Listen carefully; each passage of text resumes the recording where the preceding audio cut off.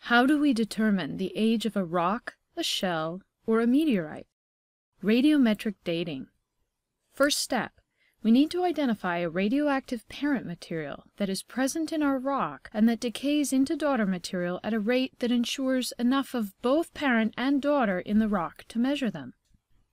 There are a number of parent-daughter radioactive decay pairs, and each pair has a different decay rate known as a half-life. Half-life is the amount of time it takes for one half of the original parent radioactive material to decay into daughter product.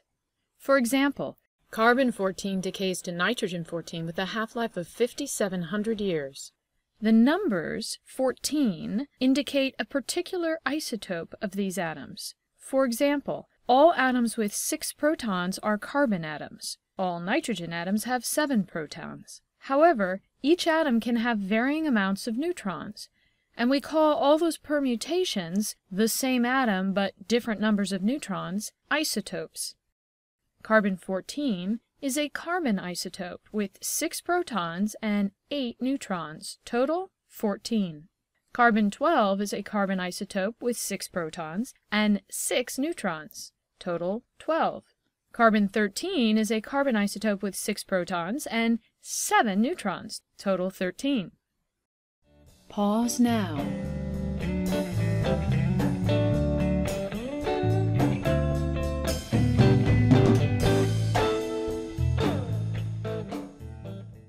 Any naturally occurring substance with carbon in it will have about 99% carbon-12, 1.1% carbon-13, and some trace amounts of the radioactive carbon-14 isotopes. What makes carbon-14 and nitrogen-14 a very good isotope pair is that most substances that contain carbon in a structure, such as shells made of calcium carbonate, do not also have nitrogen in them. So any nitrogen-14 we see in the material will have come from the decay process. For carbon-14, every 5,700 years, half of the original carbon-14 has decayed to nitrogen-14. After one half-life, assuming there was no nitrogen-14 to begin with in a rock sample, the ratio of the two should be 1 to 1, equal. After two half-lives, the half that remained of parent after the first half-life is now halved again. Half of a half is a quarter. The remaining three quarters is daughter, and the ratio of parent to daughter is 1 to 3. Another half-life, and we have the quarter. There's now one-eighth parent and 7 eighths daughter, and the ratio is 1 to 7, and so on. At this point, three half-lives have passed, and the time is 5,700 times 3, or 17,100 years. A shell that was buried 17,100 years ago would have a carbon-14 nitrogen-14 ratio of 1 to 7. If we are trying to use the carbon-14 nitrogen-14 radioactive decay pair to date a rock that's 100 million years old, there likely will not be enough parent left to measure, and that would not be a good choice. Pause now.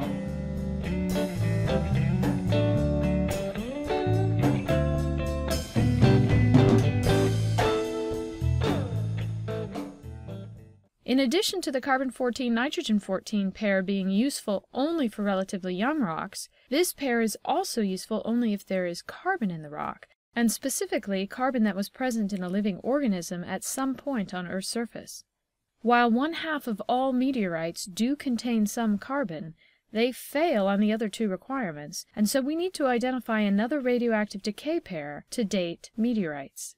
Fortunately, there are a number of other pairs, such as uranium-238, which decays to lead-206 and has a half-life of 4.5 billion years. Uranium-235, which decays to lead-207 and has a half-life of 700 million years.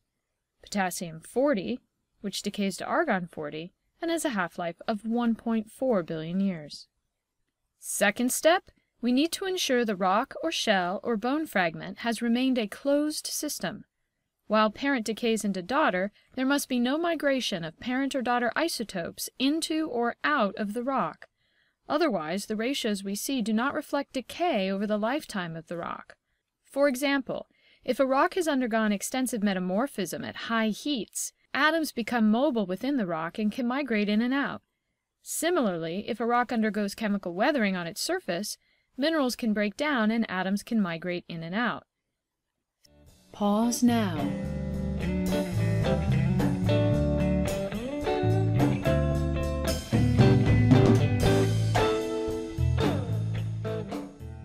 So how do we date a meteorite? First, we ensure it was a closed system by picking a good sample without any weathering or evidence of melting. Then we place a sample of it in a mass spectrometer to measure the ratio of the particular radioactive decay pair we're studying. In this case, uranium-238 and lead-206. When asteroids first coalesce, they contain plenty of uranium-238, but no lead-206. The only way to produce lead-206 is as a radioactive decay daughter product of uranium-238. Every 4.5 billion years, one half of uranium-238 will decay into lead-206.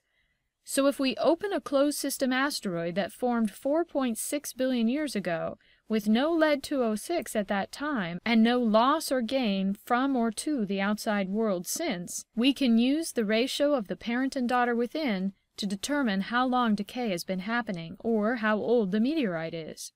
And what do we find? Almost exactly equal amounts of uranium-238 to lead-206. That ratio of 1 to 1 is possible only if exactly one half-life has passed. The meteorite formed about 4.5 billion years ago. Of course, in the lab we get a lot more precise. What if we used uranium-235 and lead-207 to date the same meteorite? what would we find as our ratio? Remember, the half-life for uranium-235 to lead-207 is 700 million years. For something that is 4.6 billion years old, that means it would have passed through 6.7 half-lives. Let's look at what that means for the ratio. One half-life gives a ratio of one half parent to one half daughter, or 1 to 1.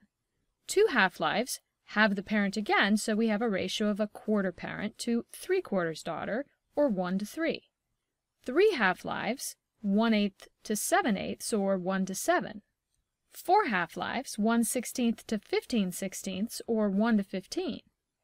Five half-lives, one thirty-second to 31 32nds, or 1 to 31. Six half-lives, 1 over 64 to 63 over 64, or a ratio of 1 to 63.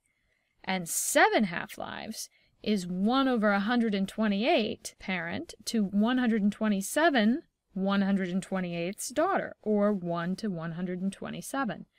So the ratio we'd expect for something that had experienced 6.7 half-lives is somewhere close to 1 to 127, close to 7 half-lives. To be more precise, we use this equation. The fraction of parent remaining equals e to the power of minus t divided by 1.443, where t is the number of half-lives passed. Since t is 6.7, that means the fraction of parent remaining is 0.00963. The remaining 0.99037 must be daughter, and the ratio is 1 to 103. Calculating age using multiple radioactive isotope pairs is a method we use to confirm our dates. Pause now.